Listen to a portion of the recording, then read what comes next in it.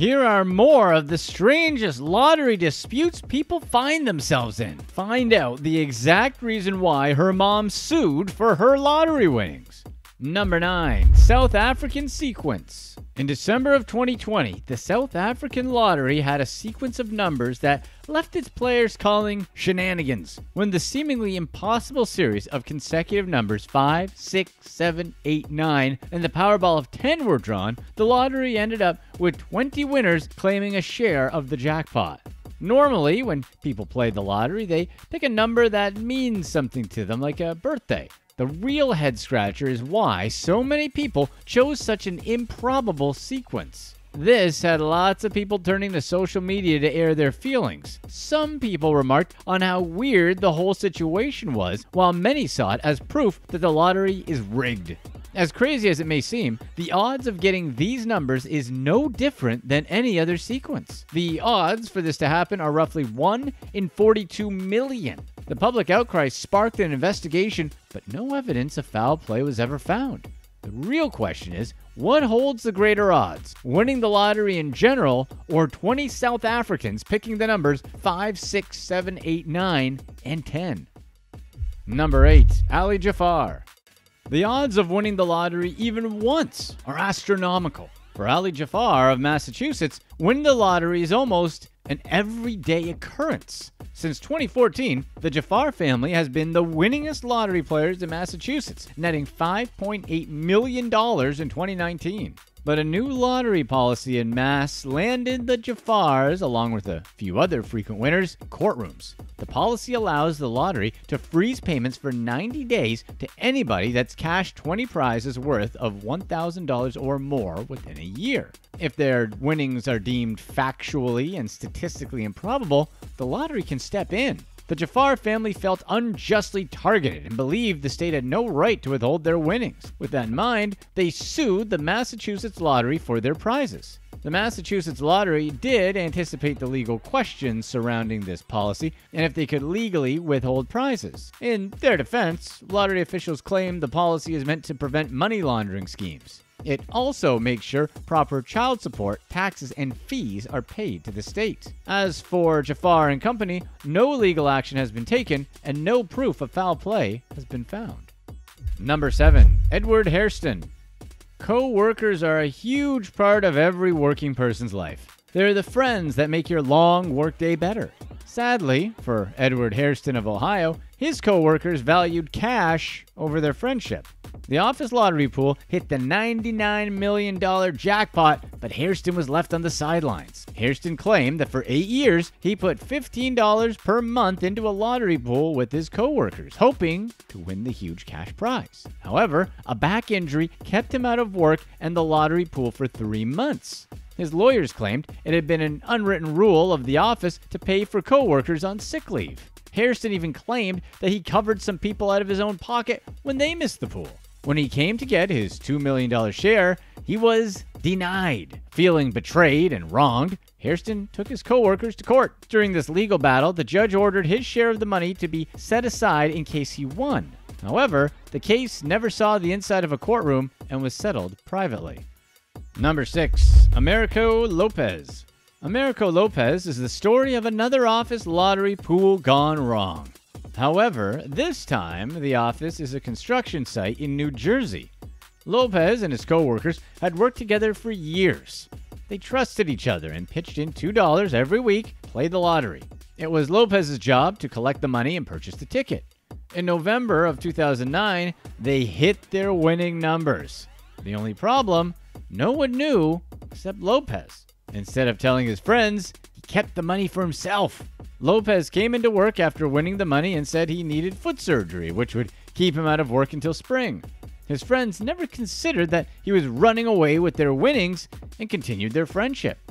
But word spread about his winnings, and after some online digging, the other lottery pool members found out he'd won big.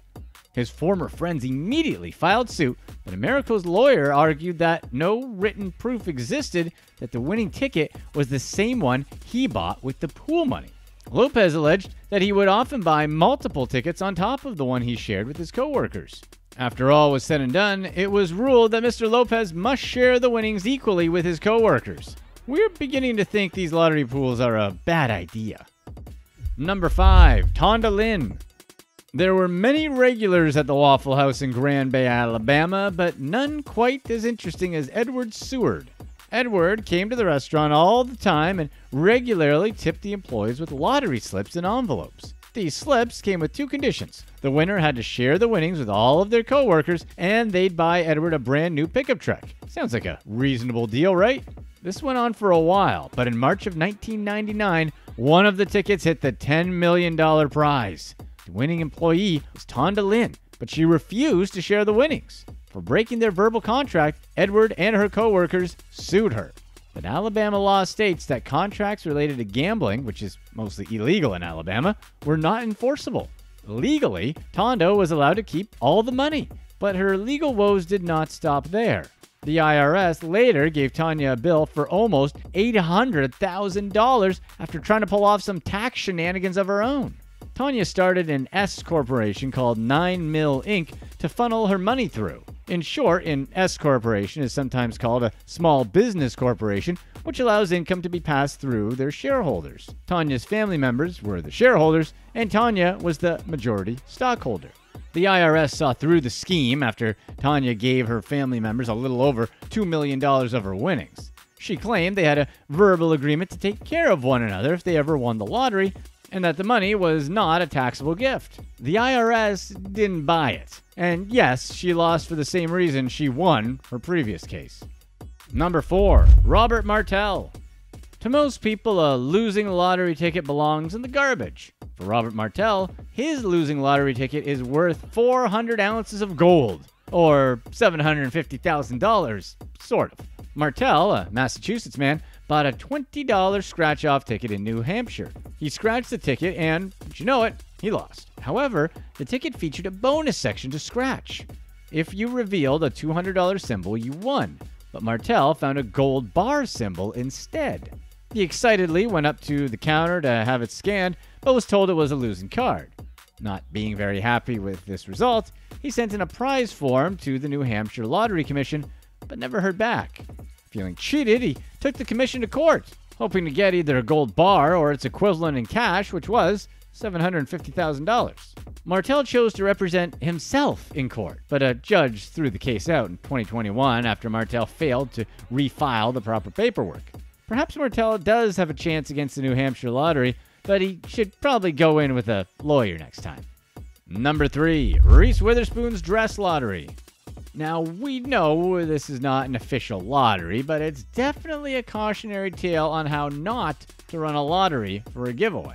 Draper James, Reese Witherspoon's fashion company, tweeted the following in April of 2020 Dear teachers, we want to say thank you. During quarantine, we see you working harder than ever to educate our children. To show our gratitude, Draper James would like to give teachers a free dress. To apply, complete the form at the link in bio before this Sunday, April 5th, 11:59 p.m. ET. Offer valid while supplies last. Winners will be notified on Tuesday, April 7th. Teachers all over the country went nuts, and over a million of them applied for the giveaway. It was so popular that the Today Show and Good Morning America did entire segments on it. But Witherspoon only had 250 dresses to give away. When participants found out, they sued Draper James for breach of contract. Witherspoon's lawyers argue that the lawsuit attempts to avoid common sense in the belief that a company could reasonably give out so much product for free. They also argued that the wording of the original post was obvious in offering an opportunity to get a dress, not a guarantee. The words, while supplies last and winners, should have been enough. Number two, the Dirty Dozen. In some stories, nobody but the people involved know the whole truth. That was the case for the Dirty Dozen. 12 Chicago co workers who went from modest bakers to multimillionaires overnight. When they collected the $118 million prize, their lawyer, Michael Hoff, told them that they had to put a name on the form. They came up with the Dirty Dozen. But silly names aside, Hoff knew that he was about to have a lottery lawsuit on his hands. Once word got out about the Dirty Dozen, 11 other employees claimed they were in the pool.